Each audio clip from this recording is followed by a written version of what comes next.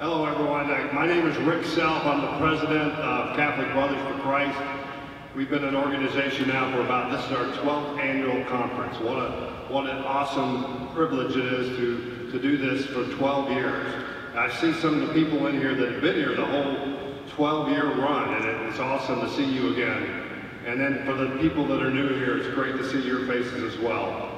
Uh, today, we hope that you're inspired by the Holy Spirit, that you come out of here with weapons and tools you can use against the evil one and, and to be the fighter for Jesus. So that's why we, we do this every year. We, uh, we want you guys engaged as great as, as holy men to lead your families, to lead your, uh, your communities. Uh, if you're in the government, to lead the government for crying out loud. Like we, we want you to be holy men. That's why we do this.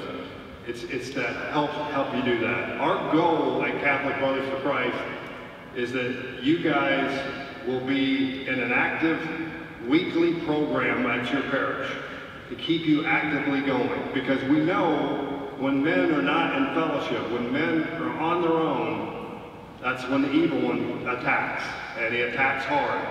So we need you to be in fellowship. We need you to have regular engagement. So that's what Catholic Brothers is all about. That was the initial vision of our uh, organization, was just to help North Texas. And this is a big area. We have 8 million people in the Metroplex.